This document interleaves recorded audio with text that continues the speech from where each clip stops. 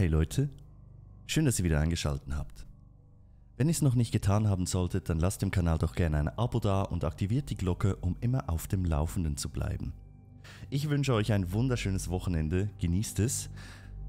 Und ja, jetzt kommen wir zu der Geschichte namens Beschwörung.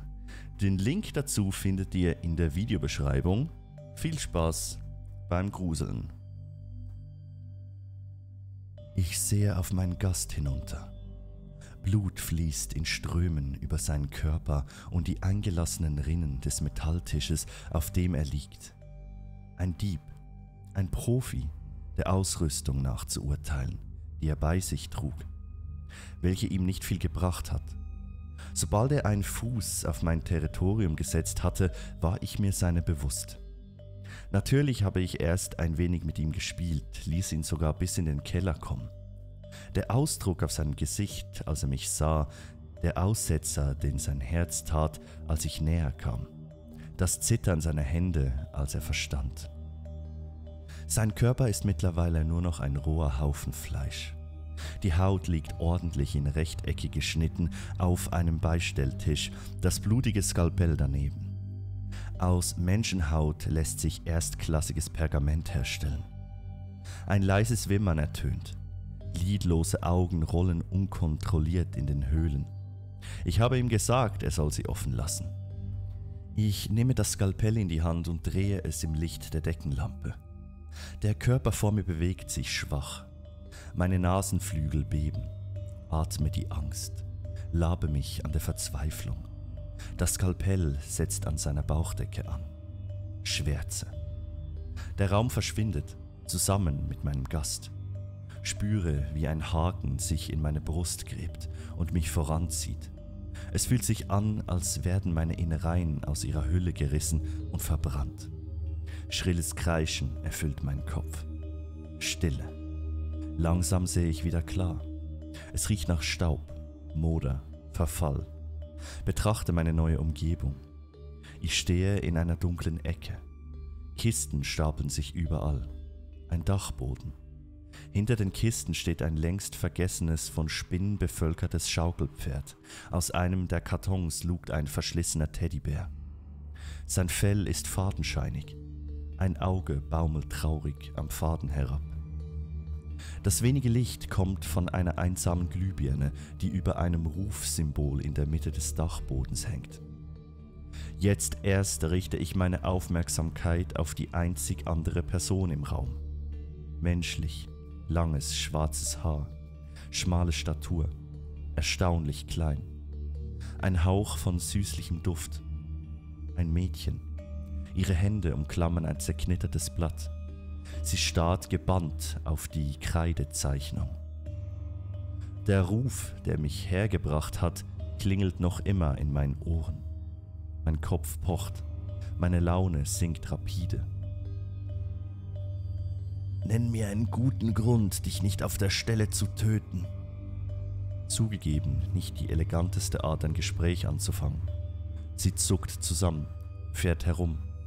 Der stechende Geruch von Angst breitet sich aus. Gut. Ein bisschen Angst ist das Mindeste als Entschädigung für die Unterbrechung, die Kopfschmerzen, den modrigen Dachboden. Aber erst muss ich wissen, woher sie die Formel kennt. D dich gibt es wirklich? Ihre Stimme ist nur ein Flüstern. Da wir nun die Frage meiner Existenz geklärt haben, ich trete ins Licht der Glühbirne. Ihr Blick wandert über meine mit Blut bespritzte Schürze. Sie schluckt. Können wir auf das eigentliche Thema zurückkommen? Wieso bin ich hier? Und wieso sollte ich dich leben lassen? Sie klappt den Mund ein paar Mal auf und zu, räuspert sich. Ich löse hiermit den Gefallen ein, den du meiner Familie versprochen hast. Der Satz klingt wie auswendig gelernt. Es gibt nur eine einzige Person, mit der ich einen derartigen Deal abgeschlossen habe. Ich lege den Kopf zur Seite. Wie ist dein Name? Annabel Crow. Theodore Crow war mein Ur-Urgroßvater. Theodore Crow, Der einzige, der es je geschafft hat, mir einen nicht näher definierten Gefallen zu entlocken. Einforderbar durch ihn und all seine Nachkommen. Meine Lippen verziehen sich zu einem Lächeln. Der Angstgeruch verflüchtigt sich etwas. Ich mache ein paar Schritte auf sie zu, höre zufrieden, wie sich ihr Herzschlag beschleunigt. Wenn das stimmt, hast du bestimmt noch das, was Theodor von mir erhalten hat. Mit zitternden Händen hält sie mir das zerknitterte Blatt entgegen. Pergament. Trotz seines Alters frei von Stockflecken, wunderbar weich und brennbar. Ein erschrockener Ton kommt aus ihrer Richtung. Sehe zu, wie die Ascheflöckchen langsam zu Boden sinken. Da du mich schon gerufen hast, brauchst du sie ohnehin nicht mehr. Den Blick, den sie mir zuwirft, kenne ich nur zu gut. Außer natürlich, du wolltest sie irgendwie als Druckmittel einsetzen. Ich, ich habe eine Kopie, nur für den Fall. Also hatte ich recht. Wie drollig. Für welchen Fall? Dass ich beschließe, dich doch zu töten. Sie zuckt zusammen, verschränkt ihre Arme vor der Brust scheitert bei dem Versuch, meinen Blick standzuhalten.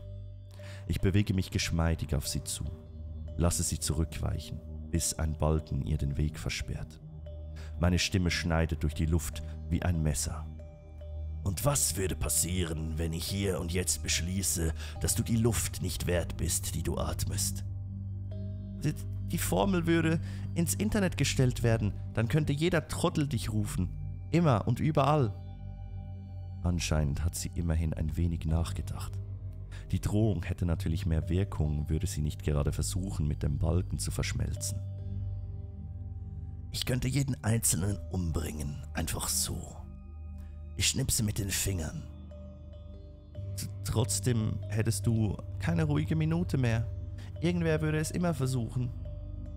Nett gedacht.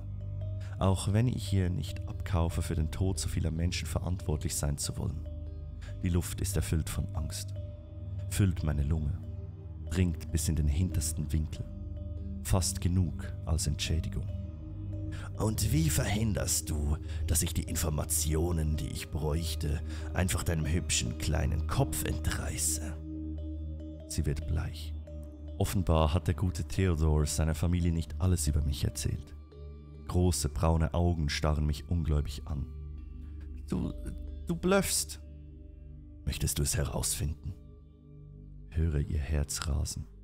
Die Vene an ihrem Hals pocht. Sie zittert. Lächle. Dreh mich von ihr weg. Genug der Spielchen. Ein Deal ist ein Deal. Also, was ist das für ein Gefallen? Stehe mit dem Rücken zu ihr. Merke, wie sie in sich zusammensackt. Ihr Herz stolpert noch ein paar Mal, beruhigt sich etwas, höre sie tief einatmen. Ich möchte, dass du mir hilfst, bis ich dich entlasse, mich beschützt und mich auch danach nicht tötest. Den letzten Teil hat sie offenbar spontan hinzugefügt. Lächle leicht, lernfähig, gut. Ich drehe mich wieder um. Das ist ein großer Gefallen. Eigentlich sogar drei. Sie schiebt trotzig das Kinn vor. Ihre Lippe zittert. Hältst du dich an die Abmachung oder nicht? Ich halte mich immer an meine Abmachungen. Gut. Stille. Sie fährt sich nervös durch ihre Haare. Ich brauche dringend was zu trinken. Fahrig wendet sie sich der Tür zu, braucht ein paar Anläufe, um diese zu öffnen. Ich gehe hinter ihr die Treppe hinunter. Das Ganze verspricht amüsant zu werden.